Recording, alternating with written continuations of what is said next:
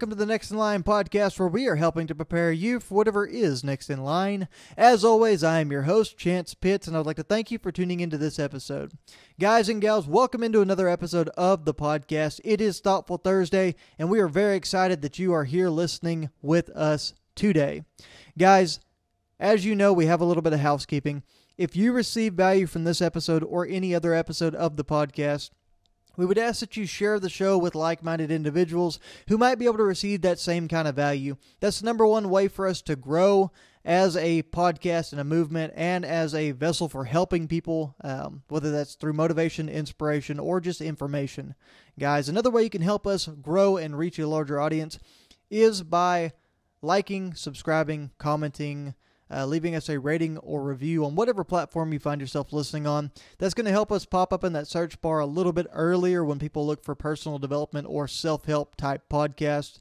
Um, and like I said, guys, when we reach more people, we're able to help more people. And that's the overall goal here at Next in Line. Now, guys, just a few headlines I want to run through with y'all while I've got you here. Uh, we've got the Habanero 100 coming up in about a week and a half. Not even a week and a half whenever this uh, podcast drops. Very exciting. It's my first 100 mile race. Um, had a little bit of a knee thing going on here lately, so we've kind of been not really able to do a lot of practicing and running like we've been wanting to, um, but that is okay. It's all part of it, uh, part of the process, and we'll get it worked out like always. But Guys, another thing we have going on that would be a great headline is that we are going to drop a podcast on Monday that you are going to want to tune into.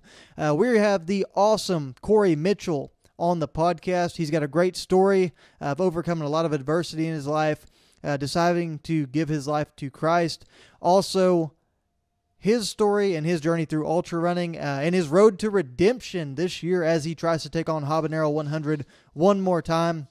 It's going to be super exciting. I know I'm going to love that show. Um, and I'll get value out of it if nobody else does. But guys, I know you're going to get awesome things out of that that show and that episode as well. But guys, I don't want to uh, to delay anymore. I want to talk to y'all today about something that was on my mind. Now, remember, these thoughtful Thursdays are out of situations that pop in my head. They are thoughts that come to my mind. Little nuggets of wisdom is what I called them on the first episode that I dropped. Um, and that's what I want to talk to y'all about today. Um, I kind of was struggling with a lot of things this week and this past week as well. Uh, we've had a lot on our plate. There's been a lot of things falling kind of not in our favor here lately on the personal life, professional life, and uh, in the workout side of things and the physical and active side of my life as well. So it's kind of just been one of those things where it's been a little bit of a stressor. And I've carried a lot of that around with me um, the negativity, the stress, all those different factors that are all things that I come on here and I talk about not doing. I talk about letting it roll off your back. I talk about taking a step back, taking a deep breath, realizing all the things that you have to be thankful for. And I haven't done a good job of that lately. So while I was cruising around, I do a lot of driving for work in my sales role that I have. So I had this thought come to my head while I was driving. And it was kind of an analogy in a lot of ways. It was that we only have the capacity to carry a certain amount of things around with us at all times. And it reminded me of times I've been backpacking. And it's reminded me of times whenever I went on vacation. And I really want to stick to the backpacking side of the analogy for now because I feel like that best suits this situation for us. So I want to go ahead and dive into that, guys. Think about you packing your bags to be able to go on a overnight backpacking trip. You're going to be camping out in the woods somewhere, and you want to make sure that you have everything that you need in order to be successful. Now, a few of the items that you might pack in your bag would probably be something along the lines of some extra clothes, some food, a tent, maybe a sleeping bag, some extra socks for sure. I know that's within clothes, but I feel like it's its own important and separate item. Um, a lighter, some tinder to be able to light a fire. Uh, you're going to want to be able to have clean drinking water, so maybe a water filter, maybe some iodine tablets. Uh, you're going to want to, of course, have a dry sack, uh, have some things that you can keep your money, your phone, all those great things dry. So maybe some Ziploc bags. Uh, maybe if you're up in bear country, you'd have some bear spray. You'd probably have a headlamp so that you can see at night. And then maybe you even have sunscreen or a bug net and just kind of a wide variety of those kind of things. You maybe have a pocket knife, um, maybe a alternative phone charger, some eating utensils, maybe even a cup so you're able to uh, drink your purified water from that water filter you packed as well. But the thing I want to talk about is that all of these things that you've decided to pack in this bag are all things that are used to serve you. Now, they fall somewhere under that basic needs of humans categories that we talk about, and it depends on who you ask, but there's usually about five that people talk about in the form of food, water, shelter, clothing, and sleep. Those are all the things that we need in order to survive as humans. And each and every one of these things that you pack in the bag backpacking is something that helps you get to that end. It is a means to an end for helping you survive and helping you stay comfortable while you're out on this trip so that you can enjoy yourself and that you can thrive in the wilderness. So, whenever you are packing that bag, I want you to really think about all these items that fell in to this packing list. And I know we talked about all of these items serving you, but a lot of them fall under that nourishment category. You packed some food, you packed a water filter so that you can get water. You packed a source of fuel and a lighter to be able to cook your food and to be able to accept that nourishment into your body by getting it cooked and making it edible. You also had maybe the knife, maybe the mosquito net, maybe the tent, all as a form of protection under that shelter kind of list that we talked about. Then, guys, there's also some of those things that fall under a category of rest and recovery, like the sleep side. You packed some things so that you will be able to sleep. You packed a bedroll, you packed clean clothes so you'll be comfortable, a tent, all of those things. Maybe even that bug net falls under that category too. But you packed things so that you would be able to rest and recover. All of these wonderful things that you found yourself enjoying having and benefiting from kind of have a little bit of a caveat to them.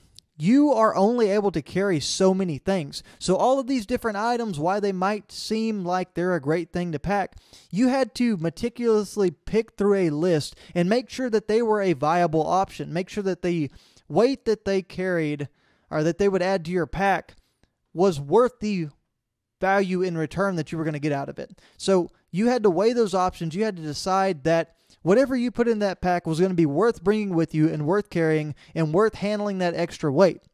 And the other side is not just on the weight side and the capacity of you being able to carry it, your pack's only so big. So you probably had to cut out some other items that weren't as useful. And that's really where I want to get into the analogy for this one, guys, is that every single day we walk around with this vessel. We walk around with this body. We walk around with our head on our shoulders, our soul inside of us. Whatever you believe, whatever you want to picture, guys. We walk around with a limited capacity for the things that we can handle in life and the things that we can successfully utilize. We pack in all these different things that we try to take on. We have work, we have our personal lives, we have the fitness side of things, we have our finances. There's a million different categories that we could all pack into here. And here's the thing, guys you're going to be needing to carry around literacy for every single one of those. You're going to have to even carry around literacy for these basic needs that we talked about in the form of food, water, shelter, clothing, and sleep on a daily basis so that you can actively function and survive in society. So I would say, whenever we have a limited capacity and we already know we're going to have to carry all of these useful things around with us, there is no room in the pack for certain items. We have to cut them out. And it's very, very easy for us to want to try to carry those things along with us. And those things aren't particularly things that serve us. However, they somehow end up hitching a ride with us and coming along for the ride. And those things are typically stress, their anxiety, their worries about finances, or whether this certain aspect of your life is going to work out exactly like you'd planned it. And we stress so much over all these small things in life and these things that in honestly in a handful of years won't even matter.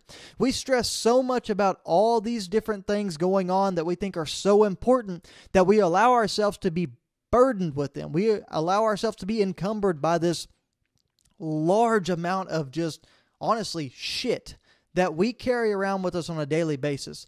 And it weighs us down mentally. It weighs us down whenever we go to try to do our workouts. We feel tired. We feel fatigued. Whenever we're in our work day, we find ourselves just after lunch falling asleep and we're tired and we're wishing the day was over, but we still got four hours left on the clock before we can go home without getting in trouble.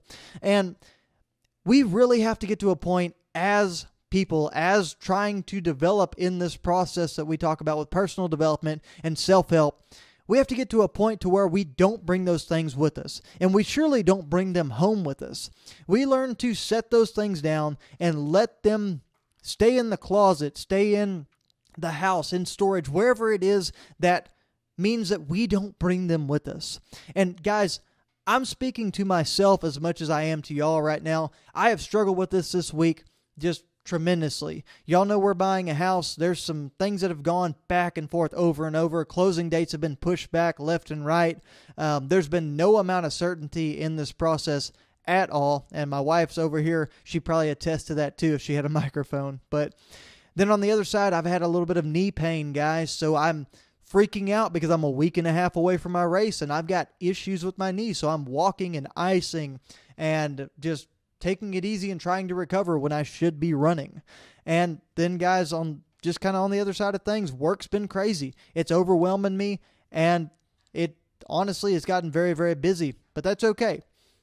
The thing is, the thing that I have not done well these last couple of weeks at least is that I have carried all of those burdens along with me. I've carried them and I've filled up my pack with all of those things that don't serve me and don't have a positive return for the weight that they bring into my life. So, what I'm going to do going forward is I'm going to start taking those things out of my pack. I'm going to start letting them go. I'm going to start leaving them at home and I'm going to move on in the direction that I need to move, carrying only the things that serve me and move me in the direction that I am trying to go with my life. And guys, that's really all I had for you today, but I will leave you on this Thoughtful Thursday with one question What are you carrying in your bag?